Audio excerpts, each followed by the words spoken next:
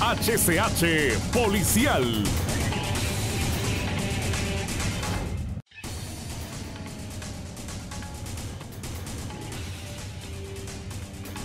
Muchas gracias, buenas noches. A continuación el resumen de noticias policiales en la capital y sus alrededores. Esta mañana fue encontrado sin vida en su casa de habitación, ubicada en la Supermanzana 5, en la colonia Kennedy en Tegucigalpa, Minor Cervellón Maradiaga de 30 años de edad, originario de Cedro Francisco Morazán y residente en el lugar donde fue encontrado sin vida. Las autoridades de la Dirección de Medicina Forense fiscal del Ministerio Público, Policía de Investigación, agentes de la Policía Militar del Orden Público y Policía Nacional llegaron al lugar donde estaba el cuerpo sin vida. De inmediato realizaron el levantamiento y autorizaron trasladar el cuerpo hasta la morgue capitalina para establecer las causas de su muerte a través de la autopsia respectiva. Horas después, su cuerpo fue retirado de medicina forense y fue velado unas horas en Tegucigalpa Posteriormente fue trasladado hasta la comunidad de Mata de Plátano, donde será su sepelio el día de mañana.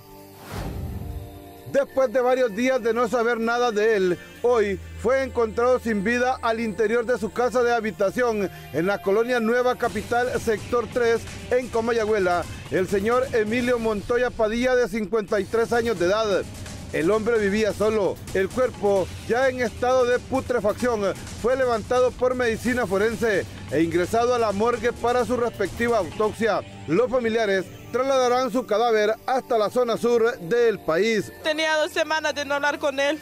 ¿Usted cuántos hijos tuvo con él? Solo una niña de dos años. ¿Cuándo fue la última vez que habló? Hace como el 15, 16 de diciembre hablé con él y de ahí no había vuelto a hablar con él porque yo le llamaba y no contestaba, le iba a marcar y él no contestaba porque él todos los días le decía buenas noches a su hija y él siempre le decía, hija, yo voy a prosperar por usted, yo voy a salir adelante por usted ya fue la última vez que él habló con nosotros. ¿Él eh, eh, eh, tomaba? No, ya tenía días de no tomar. lo que único que él estaba fumando era marihuana, pero ahorita que estaba yendo a la iglesia la había dejado. Porque él estaba congregándose en la iglesia ahorita. ¿Cuántos años tenía? 50 años. Eh, Emilio Padilla Montoya. Emilio Montoya Padilla. Asimismo, ingresó el cuerpo a la morgue capitalina de Marvin Edgardo González Varela, de 30 años de edad, originario de Comayagua y residente en Meámbar.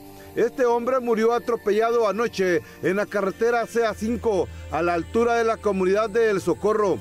Este mismo día, los familiares se presentaron a la morgue en Tegucigalpa para realizar el trámite correspondiente. Horas después, las autoridades de turno de medicina forense entregaron el cadáver, que fue trasladado hasta su lugar de origen. Mañana será su sepelio.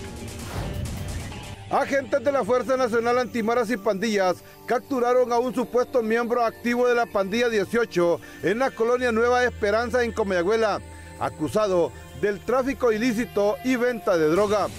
El detenido fue identificado como José Heriberto Pérez Velázquez, de 18 años de edad y conocido en la estructura criminal con el alias de Carroncha. La captura se llevó a cabo mediante una operación de vigilancia y seguimiento por agentes especializados de la Fuerza Nacional Antimaras y Pandillas al momento que este individuo distribuía supuesta droga. Además, los agentes especializados en la captura detallan que Pérez Velázquez alcanzó el nivel jerárquico de paisa firme en la organización. Al momento de la detención a alias Carroncha se le decomisaron 76 envoltorios de papel periódico conteniendo en su interior hierba seca supuesta marihuana, dinero en efectivo, producto de la venta de droga y un teléfono celular. El capturado fue remitido a la Fiscalía de turno, acusado por el delito de tráfico ilícito de droga en perjuicio de la salud de la población del estado de Honduras. Hasta la emergencia del hospital escuela fue ingresado el señor Santos Emilio Garmendia, 54 años de edad, residente en la colonia Alas de Cristo Rey, en el municipio de Guaymaca, en Francisco Morazán. Esta persona fue herida de arma blanca tipo machete en el municipio de Guaymaca. El paciente fue trasladado a bordo de una ambulancia de la Cruz Verde del municipio. Hasta el momento se desconocen las causas del ataque. Esta tarde, el paciente seguía recibiendo las atenciones médicas en el mayor centro asistencial del país. Para HCH Noticias, con imágenes de José Oseguera y Alan Francisco Velázquez Antunes y la edición de Norman Orellana, les informó Nelson Sorto. HCH Policial